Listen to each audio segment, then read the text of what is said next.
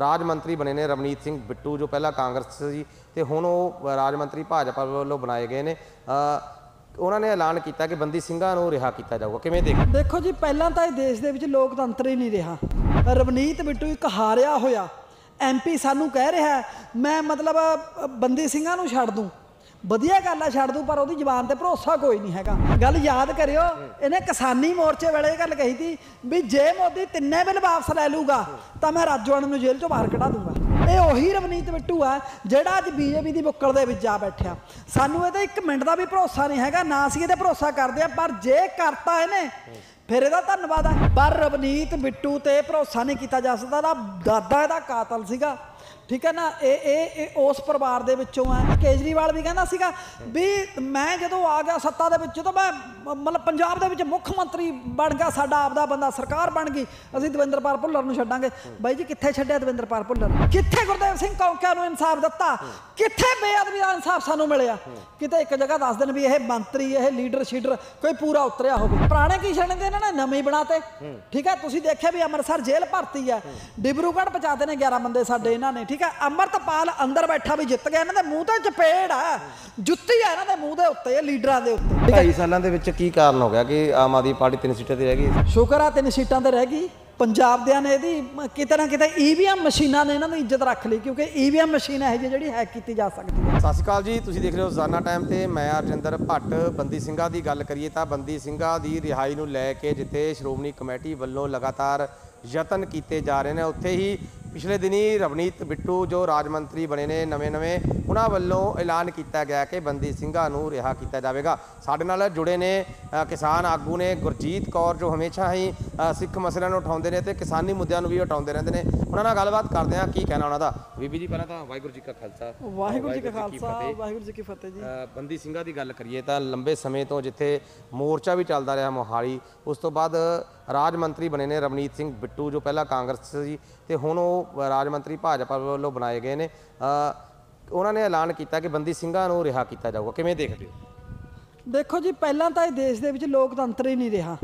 ਠੀਕ ਹੈ, ਲੋਕਤੰਤਰ ਉਹ ਹੁੰਦਾ ਹੈ, ਲੋ, ਮਤਲਬ ਜਿਹੜਾ ਕੋਈ ਐਮਪੀ ਬਣਦਾ ਜਾਂ ਕੋਈ ਮੰਤਰੀ ਬਣਦਾ ਲੋਕਾਂ ਨਾਲ ਚੁਣ ਕੇ ਭੇਜਿਆ ਹੋਇਆ ਨੁਮਾਇੰਦਾ, ਉੱਥੇ ਜਾ ਕੇ ਮੰਤਰੀ ਬਣਦਾ ਠੀਕ ਹੈ, ਉੱਥੇ ਜਾ ਕੇ ਐਮਪੀ ਬਣਦਾ, ਉੱਥੇ ਜਾ ਕੇ ਕੋਈ ਐਮਐਲਏ ਬਣਦਾ, ਕੋਈ ਮੁੱਖ ਮੰਤਰੀ ਬਣਦਾ ਕੁਝ ਬਣਦਾ ਹੈ ਨਾ ਲੋਕਾਂ ਨਾਲ ਚੁਣਿਆ ਹੋਇਆ। ਪਰ ਇੱਥੇ ਉਲਟ ਹੋ ਰਿਹਾ। ਰਵਨੀਤ ਬਿੱਟੂ ਇੱਕ ਹਾਰਿਆ ਹੋਇਆ। ਐਮਪੀ ਸਾਨੂੰ ਕਹਿ ਰਿਹਾ, ਮੈਂ ਮਤਲਬ ਬੰਦੀ ਸਿੰਘਾਂ ਨੂੰ ਛੱਡ ਦੂੰ। ਵਧੀਆ ਗੱਲ ਆ, ਛੱਡ ਦੂੰ, ਪਰ ਉਹਦੀ ਜ਼ਬਾਨ ਤੇ ਭਰੋਸਾ ਕੋਈ ਨਹੀਂ ਹੈਗਾ। ਕਾਰਨ ਕੀ ਆ?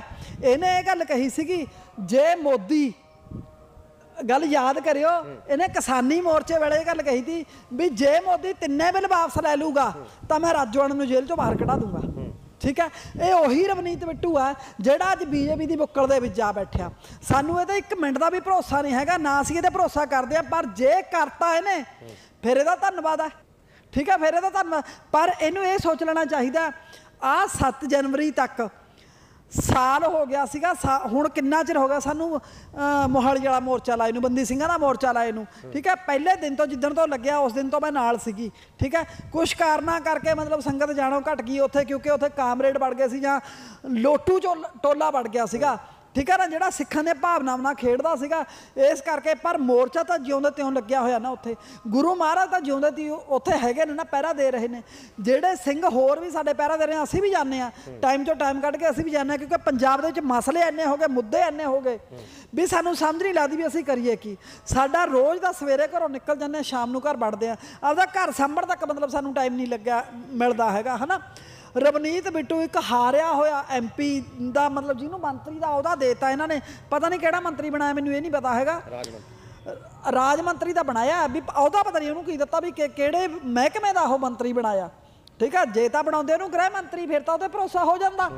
ਠੀਕ ਹੈ ਕਿਉਂਕਿ ਗ੍ਰਹਿ ਮੰਤਰੀ ਦੇ ਅੰਡਰੇ ਆਉਂਦੀ ਆ ਪੁਲਿਸ ਪਾਲਸੀ ਜੇਲ੍ਹ ਜੂਲ ਜੇ ਮੇਰੇ ਹਿਸਾਬ ਨਾਲ ਤਾਂ ਉਹ ਹੀ ਆਉਂਦੇ ਨੇ ਹਨਾ? ਪਰ ਰਵਨੀਤ ਬਿੱਟੂ ਤੇ ਭਰੋਸਾ ਨਹੀਂ ਕੀਤਾ ਜਾ ਸਕਦਾ। ਦਾ ਦਾਦਾ ਇਹਦਾ ਕਾਤਲ ਸੀਗਾ। ਠੀਕ ਹੈ ਨਾ? ਇਹ ਇਹ ਇਹ ਉਸ ਪਰਿਵਾਰ ਦੇ ਵਿੱਚੋਂ ਹੈ।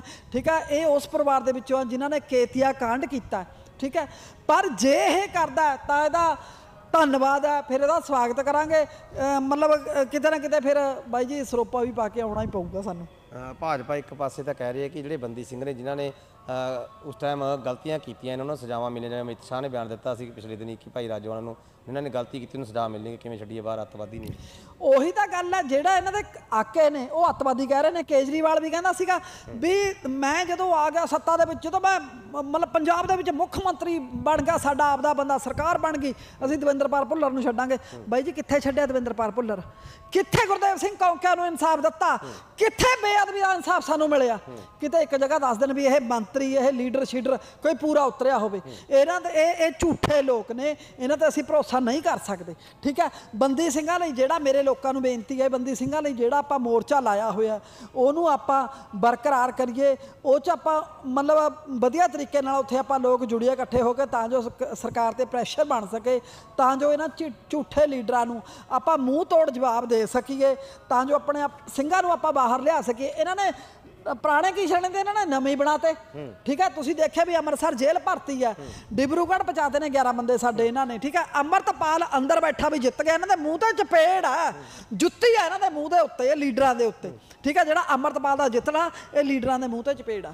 ਢਾਈ ਸਾਲਾਂ ਦੇ ਵਿੱਚ ਕੀ ਕਾਰਨ ਹੋ ਗਿਆ ਕਿ ਆਮ ਆਦਮੀ ਪਾਰਟੀ ਤਿੰਨ ਸੀਟਾਂ ਤੇ ਰਹਿ ਗਈ? ਢਾਈ ਸਿਮਟ ਕੇ ਸ਼ੁਕਰ ਆ ਤਿੰਨ ਸੀਟਾਂ ਤੇ ਰਹਿ ਗਈ।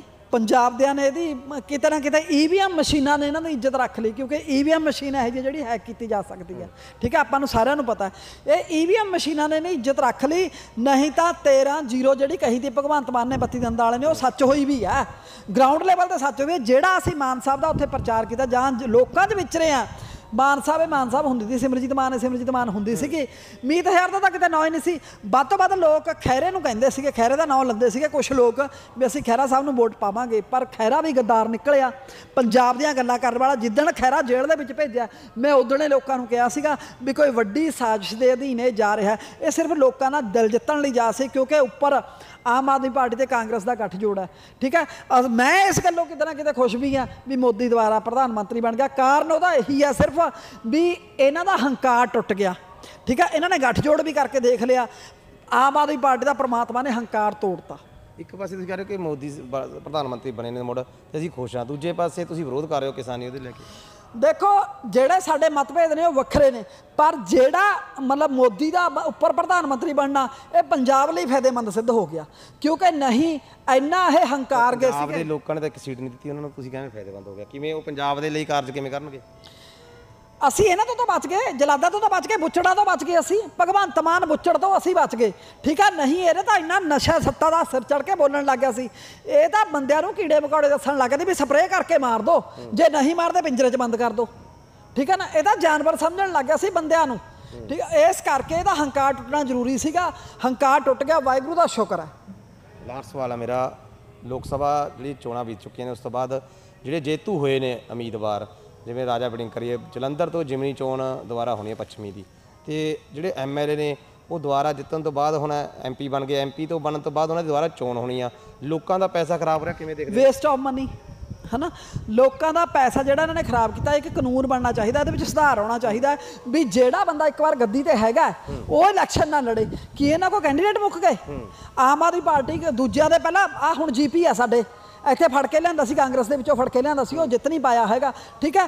ਇਹਨਾਂ ਕੋਲ ਹੈ ਹੀ ਨਹੀਂ ਗੇ, ਬੰਦੇ ਹੀ ਨਹੀਂ, ਇਹਨਾਂ ਕੋਲ ਚਿਹਰੇ ਹੀ ਨਹੀਂ ਹੈਗੇ। ਇਹਨਾਂ ਨੇ ਤਾਂ ਉਹ ਬੰਦੇ ਖੜੇ ਕੀਤੇ ਸੀਗੇ, ਇਹਨਾਂ ਨੇ ਪੰਜਾਬ ਦਾ ਪੈਸਾ ਬਰਬਾਦ ਕੀਤਾ, ਪੰਜਾਬ ਦਾ ਸਮਾਂ ਖਰਾਬ ਕੀਤਾ ਪੰਜਾਬ ਦੇ ਲੋਕਾਂ ਦਾ, ਜਿਹੜਾ ਇਹ ਟੈਕਸ ਆ ਸਾਰਾ ਪੰਜਾਬ ਦੇ ਉੱਤੇ ਪੈਣਾ, ਠੀਕ ਹੈ? ਇਹ ਇੱਕ ਪਾਸੇ ਸਿਉਂਕ ਵਾਂਗੂ ਖਾਏ ਰਹੇ ਨੇ, ਦੂਜੇ ਪਾਸੇ ਵੀ ਉੱਪਰੋਂ ਵੀ ਨੁਕਸਾਨ ਕਰਦੇ ਨੇ ਇਹ ਸਾਡਾ, ਠੀਕ ਹੈ? ਇਹ ਦੋਹੇ ਪਾਸਿਓਂ ਪੰਜਾਬ ਦਾ ਨੁਕਸਾਨ ਲੱਗੇ ਹੋਏ ਨੇ ਕਾਰਨ, ਇੱਕ ਪਾਸੇ ਆਪਦੇ ਘਰ ਭਰ ਕੇ ਤੇ ਦੂਜੇ ਪਾਸੇ ਆ ਦੁਬਾਰਾ ਇਲੈਕਸ਼ਨ ਜਿਮਨੀ ਚੋਣ ਕਰਵਾ ਕਰਵਾ ਕੇ ਇਹ ਪੰਜਾਬ ਦਾ ਨੁਕਸਾਨ ਕਰਦੇ ਨੇ।